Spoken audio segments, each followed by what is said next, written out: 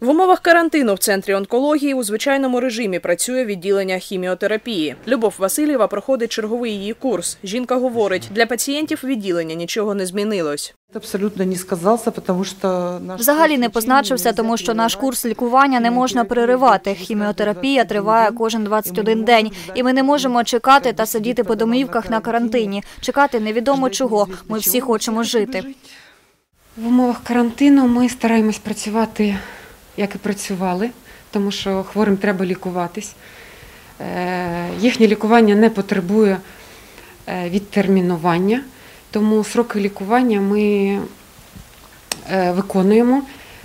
Хворі приїжджають до нас, ми їх лікуємо в плановому порядку, але правила карантину, звісно, ми виконуємо. Не вплинув карантин і на ремонт будівлі радіологічного корпусу. Ремонтували його востаннє у 80-х роках минулого сторіччя. Частину обладнання вже встановили. Входить... Цей комп'ютерний томограф входить до комплексу радіотерапевтичного обладнання. Тобто сюди заходить пацієнт, ми виконуємо процедуру, його дані переносяться у кімнату передпроменевої терапії, і далі пацієнт переходить на гамма-терапевтичний апарат вже для проведення сеансу опромінення. Кошторис цього е, проєкту 82 мільйони гривень, е, 8,2 яких виділила місцевий бюджет.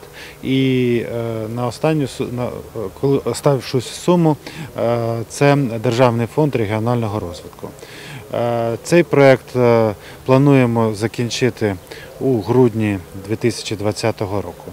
Він включає не тільки ремонт, е, капітальний ремонт цього приміщення, але й закупівлю вкрай важливого для наших хворих гаматерапевтичного комплексу, який складається із кобальтової установки Терабалт производства Чехія і комп'ютерного томографу для топометрії.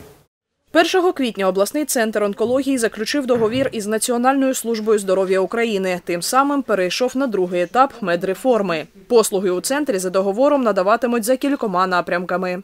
Езофага гастродуоденоскопія, е, колоноскопія, мамографія, е, хірургічне лікування е, в умовах стаціонару та діагностика та радіологічне лікування і діагностика та хіміотерапевтичне лікування хворих.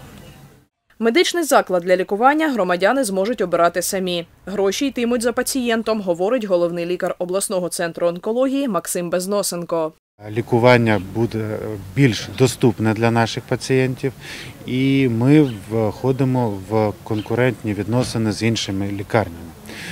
Це означає те, що у нас є єдиний медичний простір в Україні, і якщо сімейний лікар або е, інший лікар направив хворого на хірургічне лікування, то хворий е, може вибрати любу лікарню, яка надає ці послуги. Історії хвороб, амбулаторні картки та інша документація вже переводиться у електронний формат. А я думаю, що з квітня ми вже майже на 100% перейдемо на цифрові носії.